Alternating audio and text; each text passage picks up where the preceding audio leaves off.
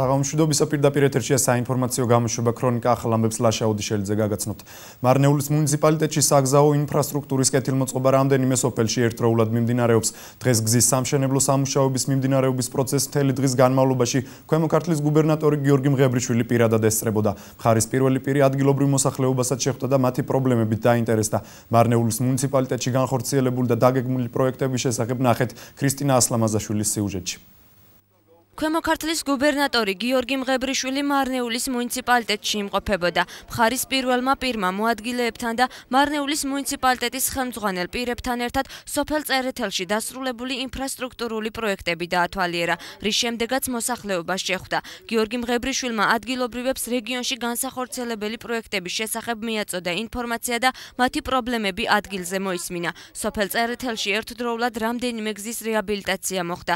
ადგილობრივი მოსახლეობის განცხადებით განცხადებით წერეთელში შიდა მნიშვნელობის გზები წლების მანძილზე ერთ-ერთ მოუგვარებელ პრობლემას წარმოადგენდა.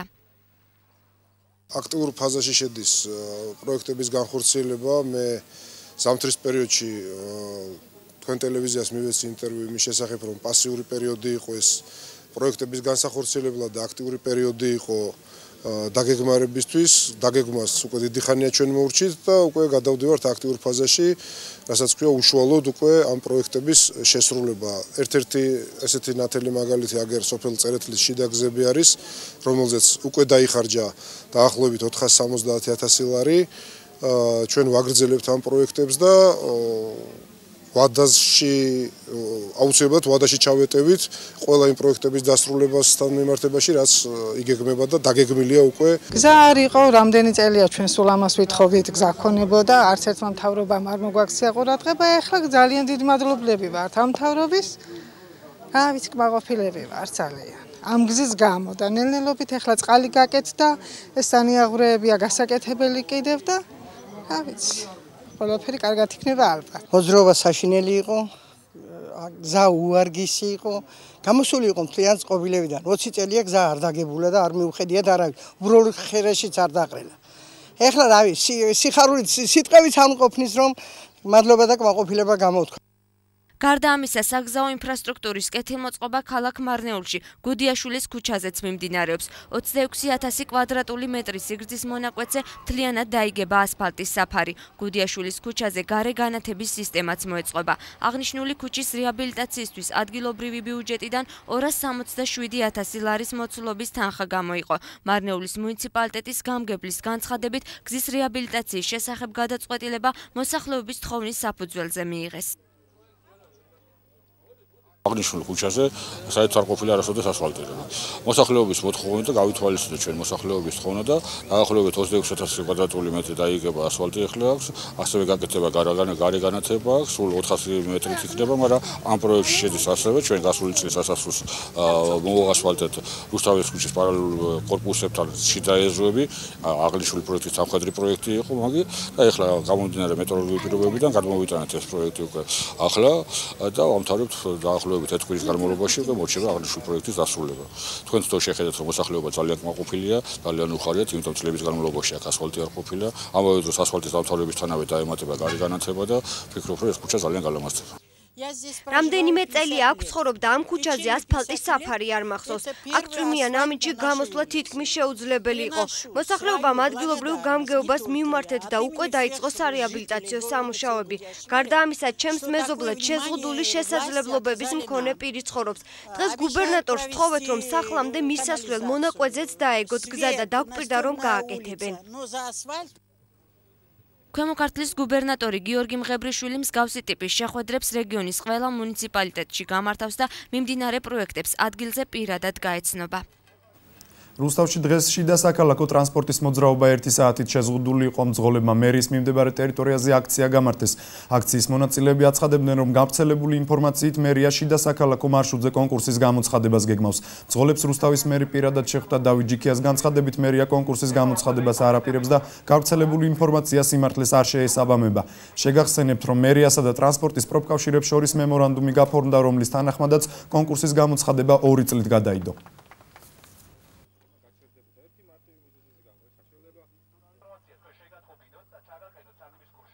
ჩვენ ორი წლით გადაუვადეთ შიდა საქალაქოს მემორანდუმი გაფორმდა უშუალო პროფკავშირების შენობაში და ეს ძალაში რჩება ეს მემორანდუმი ჩვეულებრივად. მე მესმის რომ რაღაცა ჭორები გავრცელდა რომ თითქოს ამ მემორანდუმის ემუქრება გაუქმება ეს ინამდვილეს არ შესაბამება ჩვეულებრივად ძალაში რჩება ეს მემორანდუმი. რუსთავის მერსა და პროფკავშირებს შორის გაფორმდა ხელშეკრულება რომ ორი წლით გადაიდებოდა შიდა საქალაქოს ტენდერი თვითონ მოემზადა მძღოლები უკვე ფაქტიურად ეგრეთ წოდებულმა ხაზინმე პატრონებმა გურუსავ თბილისის ხელისუფლებასთან თხოვნით მიდიან რომ ჩაატარონ რუსთავ თბილისში და რუსთავზე რომ მათ მიიღონ მოწინააღმდეგება და თავიანთი მანქანები დაასახმო. ანუ გამოდის რომ ამ ხალხის დაღუპვა უნდა. ჩვენ გვაქვს გარანტია მერიისგან რომ ეს არ მოხდება, მაგრამ არავის არ მისცეს საშუალებას რომ პოლიტიკური რეგულები დაიწყეს. ეს დოკუმენტი არა, უბრალოდ არ იყო მისული ჩვენ თვითონ მძღოლამდე. საუბრით კი მივედით და უთხარით, მაგრამ უბრალოდ დოკუმენტალურად არ არ ენახათ არც ეს. და ეს გახდა რაღაც გარკვეული ეჭვი თითქოს რომ ზოგიერთების და ვიღაც ვიღაცების საუბრით რომ შიდა საქალაქოში უნდა ჩატარებულიყო ტენდერი. აშფოთება გამოიწვია მდგომარეობამ ძოლებს შორის და მოვედი და უბრალოდ მერიამ მერმა გაგვარკვია თუ რა შეა საქმე და როგორ იქნება ჩვენი მომავალი ინტერტრანსი რუსთავი თბილისის ხაზებზე ამჟამად მომუშავე მძღოლებს კომპანიასთან თანამშრომლობისკენ კიდევ ერთხელ მოუწოდებს და მათ გადაწყვეტილების მისაღებად ორ დღიან ვადას აძლევს. ინტერტრანსში აცხადებენ, რომ ბოლო პერიოდში განვითარებული მოვლენების გამო კომპანიას საკმაოდ დიდი ფინანსური ზარალი მიადგა. მიუხედავად ამისა, ინტერტრანსი მძღოლების ინტერესებიდან გამომდინარე არაერთ დათმობაზე წავიდა, რომ მათი მოთხოვნები გათვალისწინებულიყო, თუმცა მამუკა მუმლაძე განმარტავს, რომ ამის მიუხედავად მძღოლების გარკვეული ჯგუფი კომპანიასთან თანამშრომლობაზე კვლავ უარს აცხადებს. ინტერტრანსის ხელმძღვანელის განცხადებით თუ კონკურსამდე მომუშავე მძღოლები კომპანიასთან თანამშრომლობაზე ისე უარს იტყვიან ინტერტრანსში რუსთავი თბილისის მიმართულების სხვადასხვა მარშრუტებზე სარეზერვო ინტერტრანსი აკეთებს საბოლოო მიმართვას რუსთავ თბილისზე მომუშავე მძღოლებისათვის. მოგეხსენებათ კომპანიამ ამდენი დღის განმავლობაში გააკეთა მრავალი შეთავაზება და ფაქტიურად მარშრუტებზე არ გაუშვა სამარშრუტო მიკროავტობუსები. ვინაიდან მუშაობდა იმ მიმართულებით რომ მძღოლებამდე დასულიყო ის ინფორმაცია რა მიზნების და მიმართულებებით აქ აღებული კომპანიებს მძღოლების მიმართ ვინაიდან კომპანიამ უკვე იზარალა და უკვე ზარალი მიიღო ამ პერიოდის განმავლობაში პირდაპირ და ერთნიშნულად ვაცხადეთ რომ ორ დღიან ვადას ვიძლევით რომ ისინი მოვიდნენ გონს მოვიდნენ კომპანიაში დარეგისტრირდნენ ხელშეკრულებები გაუფორმდეთ და გადაეცეთ სატრანსპორტო საშუალებები გარდა ამისა, მინდა შევახსენო მათ, რომ ჩვენგან იყო შეთავაზება 2005 წელს ზემოთ კარგი სატრანსპორტო საშუალებები, რომ დარჩებიან მარშრუტებს და იმუშავებენ კომპანიისგან ამაზე მზაობა არის და თანხმობა არის. აქცია მწვანე მომავლის ფარგლებში დმანისის მუნიციპალიტეტში 3500 ძირი სხვადასხვა ჯიშის ნერგი დაერგო. გამწვანების აქციაში მონაწილეობა ადგილობრივ მოსახლეობასთან ერთად თვითმმართველობის წარმომადგენლებაც მიიღეს.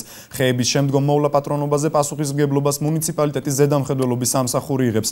თავრობის ინიცირებული აქცია ქვეყნის ყველა რეგიონში ხორციელდება.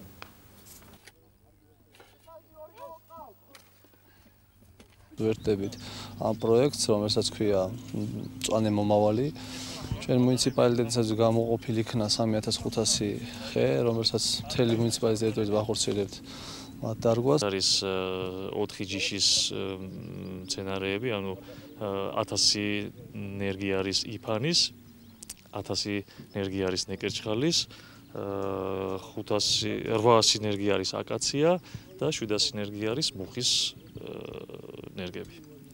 დღეს აქტიურად მონაწილეობენ ჩვენი ადგილობრივი მოსახლეობა, ხვალიდან დაიწყება უკვე მასშტაბურად დარგვანერგების, გამოვა სკოლის აღსაზრდელები და თლიანად ხვალე ეს მუნიციპალიტეტში დაერგება 3500 ენერგი.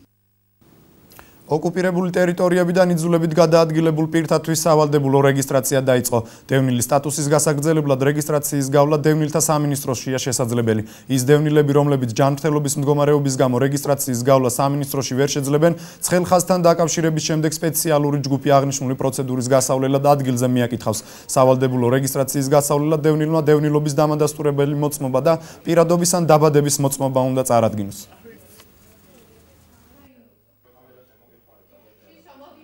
იმ დევნილებს, რომლებსაც არ გაუვლიათ დევნილთა 2013 წლის რეგისტრაცია, სპეციალურად მათთვის სამინისტროს მიერ დაინიშნა დამატებითი დევნილთა სავალდებულო რეგისტრაცია, რომელიც დაიწყო 15 აპრილს და გაგრძელდება მიმდინარე წლის 1 ივნისამდე. ყველა ზემოთაღნიშნული დევნილი უნდა გამოცხადდეს ქალაქ თბილისში სამინისტროს შენობაში მისამართზე თამარაშვილის 15 აპრილს. რუსთავის ყველა საჯარო და კერძო სკოლაში ხვალიდან აღდგომის ბრწყინვალე დღესასწაულთან დაკავშირებით სააღდგომო არდადეგები დაიწყება. არდადეგები 6 დღის განმავლობაში გაგრძელდება და სასწავლო პროცესი მიმდინარე წლის 23 აპრილს განახლდება.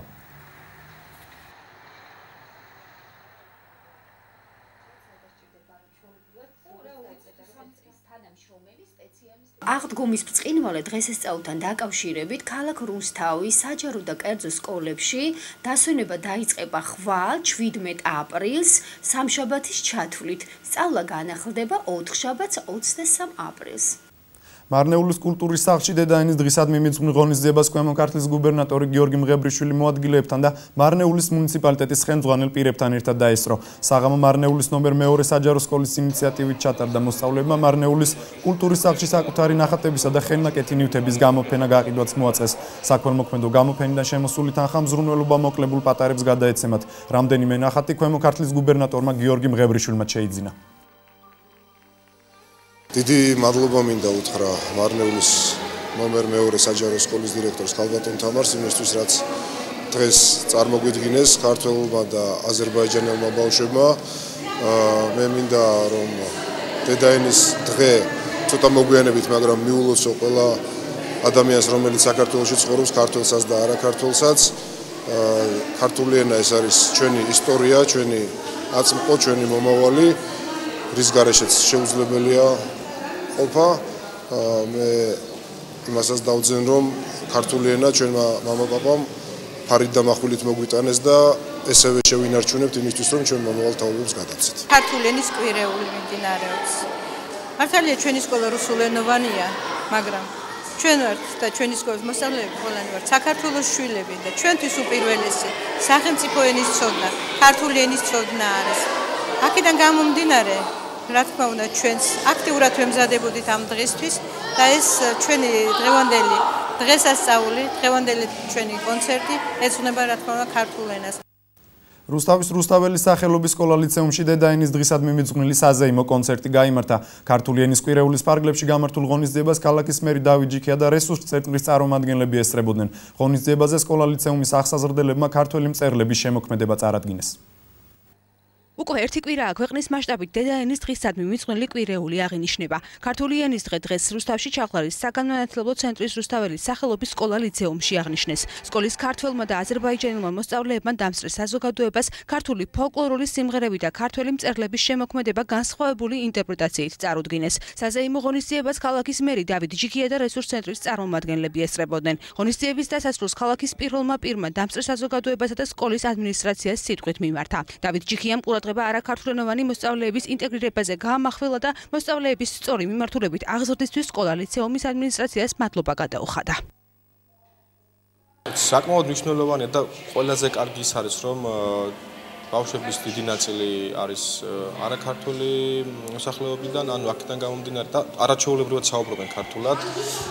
ეს აუცილებელია და კარგიც არის აქედან გამომდინარე, რომ ყველა ადამიანი პერსპექტივაში ეს არის ქვეყნისთვის რესურსი და ყოველთვის შემაკავებელი ფაქტორი ხშირ შემთხვევაში არაქართული მოსახლეობის იყო ქართულების არცოდნა და ეს უკვე ფაქტიურად ამ სკოლის არსებობა ფაქტიურად ხეს უწყობს იმას, რომ პერსპექტივაში 15-20 წლის შემდგომ იქნებიან ახალგაზრდები, რომლებსაც სრულფასოვნად იცოდნენ ქართულ ქართული ენა და თავისუფლად დაიკავებენ ღირსეულ ადგილს საზოგადოებაში. მე კეთს ვიხრი ამ მოსწავლეების წინაშე, იმიტომ რომ ესენი არიან ბავშვები, რომლებიც არ არიან ქართველენოვანები და მათ გადასარევად წარმოაჩინეს საკუთარი თავი. შესაბამისად ეს ყველაფერი დამსახურება უპირველეს სკოლისა, რა თქმა უნდა, ამ სკოლის ადმინისტრაციისა, მისაბაძი მაგალითი უნდა იყოს თითეული ჩვენგანისთვის. რუსთაველის სახელობის სკოლა ლიცეუმმა გაძლიერებული სწავლებითა და თანამედროვე ინფრასტრუქტურით აღჭურვილი სკოლის სახელი გახსნის დღიდან დაიმკვიდრა. სკოლა ქალაქის მასშტაბით ერთადერთია, სადაც მაღალ კლასებში ტექნიკური საგნები ინგლისურ ენაზე ისწავლება. სკოლის სავიზიტო ბარათი უკვე წლებია, მაღალკვალიფიციური პედაგოგები არიან, რომლებიც აღსასრდელების მაღალი დონის განათლებაზე ყოველდღიურად ზრუნავენ. ჩვენი სკოლა 2007 წელს დაარსდა და მას შემდეგ საგანმანათლებლო სისტემაში თავი მაღალი სწავლების დონით დავიმკვიდრეთ. ჩვენ სკოლაში პირველიდან მე-6 კლასამდე ქართული და აზერბაიჯანული სექტორი ცალ-ცალკეა, ხოლო მე-7 კლასიდან სექტორები ერთიანდება და ინტეგრირებული სწავლება მიმდინარეობს. აქ ტექნიკური საგნები ინგლისურად ისწავლება, სკოლის მიზანია ინგლისური ენის ღრმა ინტენსიური სწავლება, ხოლო არაქართულენოვან ბავშვებში ქართული ენისადმი დიდი სიყვარულის დამკვიდრება. ჩახლარის საგანმანათლებლო ცენტრის რუსთაველის სახელობის სკოლა ლიცეუმი მსგავს ტიპის ღონისძიებაში მონაწილეობას მომავალშიც აქტიურად გეგმავს. კლინიკა სუპერკბილი მოხუცებულთა სახლს იმედის ეკოსისტემურა კლინიკის თანამშრომლებმა მოხუცებს დამდეგი აღდგომის დღესასწაული მიულოცეს და სააღდგომო ნობათი გადასცეს. კლინიკის დამფუძნებელი აკაკი ბერიძე ბენეფიციარებს სამომავლო სტომატოლოგიურ მომსახურებას დაპირდა. კლინიკის თანამშრომლებთან ერთად დამდეგი დღესასწაული მოხუცებს მამა ილია მიულოცა.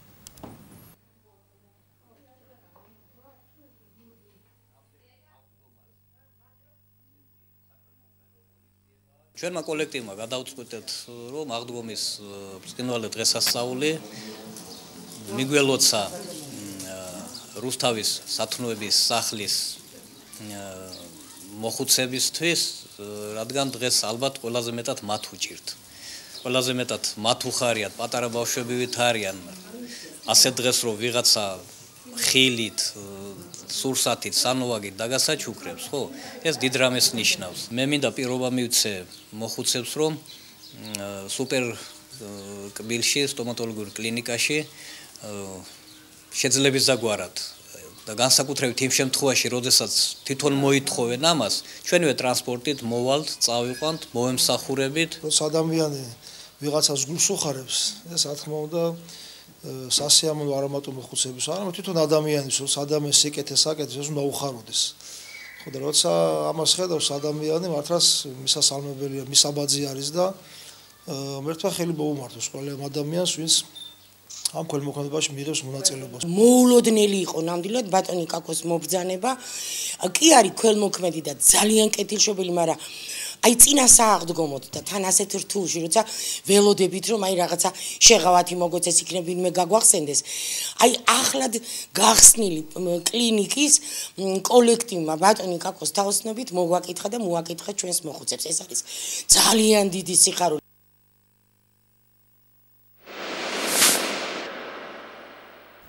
ქვემო ქართლის გუბერნატორი რუსთავის საკალათბურთო გუნდის წევრებს შეხვდა გიორგი მღებრიშვილმა მოადგილეებთან ერთად რუსთავის ქიმიკოსთა სპორტული კომპლექსი დაათვალიერა და კალათბურთელების და მწვრთნელების პრობლემები ადგილზე პირადად მოისმინა. გუბერნატორი გუნდის ვარჯიშსაც დაესწრო და უახლოეს თამაში მათ წარმატება უსურვა.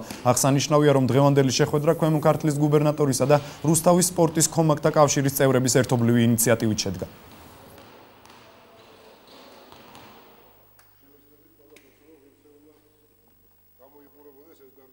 ამ ქალაქში მოთამაშე კალათბურთელები, ამ ქალაქის სახელით გამოსწრებლები უფრო მეტ სიმსახურებენ, იმიტომ რომ რუსთავი დიდი ტრადიციების ქალაქი არის კალათბურთის თვალსაზრისით და ჩვენი მხრიდან მაქსიმალურად ვესწრებით რომ მოძიებული იქნას ის ელემენტარული თანხები, მინიმალური თანხები, რომ ელემენტარული პირობები შეუქმნათ ამ ბიჭებს ვარჯიშისთვის. სასიამოვნოა ის ფაქტი, რომ თვითონ გამოცხა სრული ჩვენთან შეხვედრის, ხოლმე რომ აქ ბასეინის მაგალითად შეიძლება მეორე დარბაზის გაკეთება, სადაც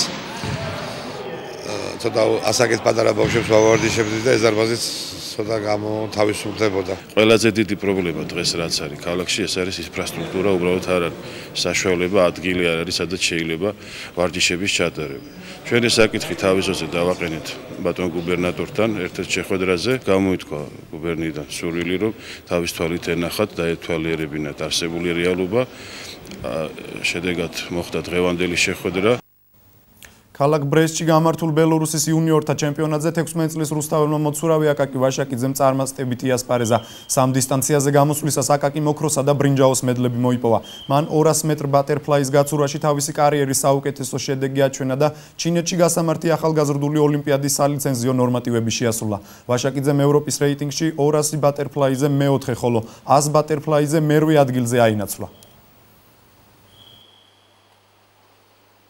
გავცხრე 200 200 დელფინი 150 ფინალში გავაი და პირველი ადგილი ავიღე. ჩემი შედეგები გამაუჯობეს და ლიცენზიის ნორმატივის შევასრულე ჩინეთის რომელიც აგვისტოში გამართა ძალიან კარგად იასპარეზა. საკუთარი შედეგები გააუმჯობესა. სპორტის ოსტატის ნორმატივს გადააჭარბა. აიღო ლიცენზია ოლიმპიადაზე წარსადგენად შინაგან საქმეთა სამინისტროს თბილისის მთავარი სამმართველოს განყოფილების თანამშრომლებმა ჯანმრთელობის განზრახ ნაკლებად მძიმე დაზიანების ბრალდებით მოქალაქე დააკავეს. გამოძიებამ დაადგინა, რომ დაკავებულმა მიმდინარე წლის 15 აპრილს თბილისში ჭავჭავაძის გამზირზე ერთ შელაპარაკებისას 1993 წელს დაბადებული პირი დანით დაჭრა და შემთხვევის ადგილიდან მიიმალა. დაჭრილი სასტრაფო სამედიცინო დახმარების სამუშაო ჯგუფმა საავადმყოფოში გადაიყვანა მისი ჯანმრთელობის მდგომარეობა ამ დროისთვის სტაბილურია. სამართალდამცველებმა ცხელკვალზე ჩატარებული ოპერატიული სამძებრო და საგამოძიებო ღონისძიებების შედეგად ეჭმიტანილი დანაშაულის ჩადენიდან რამდენიმე საათში თბილისში დააკავეს.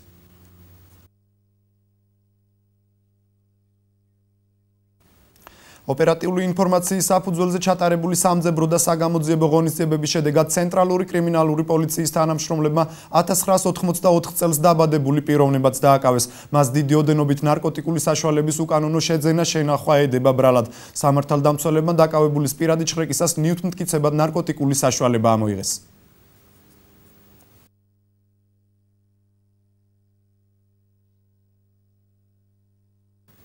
ცენტრალური კრიმინალური პოლიციის დეპარტამენტის მეორე მთავარი სამმართველოს თანამშრომლებმა ოპერატიული ინფორმაციის საფუძველზე თბილისსა და ბათუმში ჩატარებული სამძებრო და საგამოძიებო ღონისძიებების შედეგად გამოძალვის ბრალდებით 6 პირი დააკავეს. გამოძიებამ დაადგინა, რომ დაკავებულებმა ძალადობითა და სიცოცხლის მოსპობის მუქარით მოქალაქეს მოსთხოვეს და გამოსძალეს 3300 ლარი. სამართალდამცველებმა დაკავებულების პირადი ჩხრეკისას თანხა ნიუტკიცებათ ამოიღეს. ასევე ამოღებულია მაუზერის სისტემის ცეცხლსასროლი იარაღი 1 მჭიდითა და 7 საბრძოლო ვაზნით.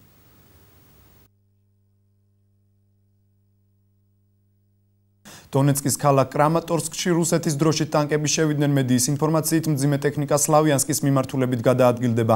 სამხედროებს რუსული ჯარის ფორმები აცვიათ ვრცელდება ინფორმაცია რომ სეპარატისტები რომლებიც პოზიციების დათმობას არაპირებენ და ბარიკადებს ამაგრებენ პირდაპირ მითითებებს და ინსტრუქციებს იღებენ რუსეთის ფედერაციის მხრიდან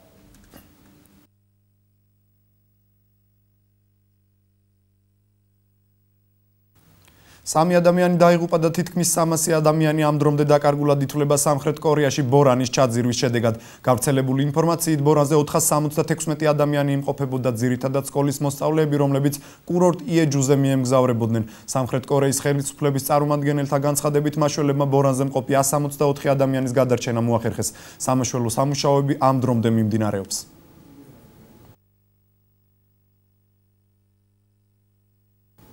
უკრაინაში კონფლიქტის მკვეთრი ესკალაცია ქვეყანას სამოქალაქო ომის ზღვარზე აყენებს. ამის შესახებ რუსეთის პრეზიდენტმა ვლადიმერ პუტინმა გერმანიის კანცლერ ანგელა მერკელთან სატელეფონო საუბრისას განაცხადა. რუსეთისა და გერმანიის ლიდერებმა ხაზი გაუსვეს 17 აპრილისთვის დაგეგმილ 4 მხრივი ფორმატის მოლაპარაკებების მნიშვნელობას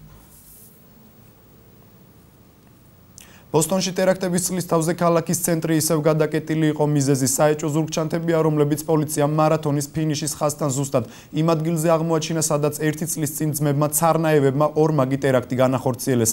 ეჭმიტანილი უკვე დაკავებულია, თუმცა ამ შემთხვევაში ბრალდება არა ტერორისტული აქტი, არამედ ხულიგნობა.